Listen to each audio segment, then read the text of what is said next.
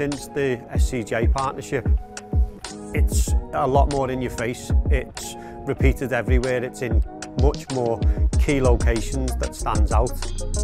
So when we opened the stadium tour back up, it was really important for us to create a safe environment for our fans and our visitors to feel safe to come back to and visit us. Uh, one of the great things about working with SC Johnson was um, it was really important to have the hand sanitizers located in key and prominent and important positions for us.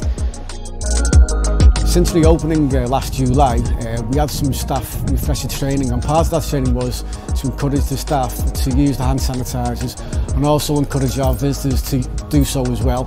This is by leading by example, so when they walk past an SC Johnson product, we encourage the staff to use it, so to lead by example, and therefore encourage the, the visitors to do so as well. Since we've installed the products, uh, the SC Johnson products around the stadium, we've had quite a bit of feedback, which has been really positive. Um, from a staff perspective, I think they were really pleased that we'd actually gone as far as we had to make sure that they were in all the key locations and readily available at all times for them to use.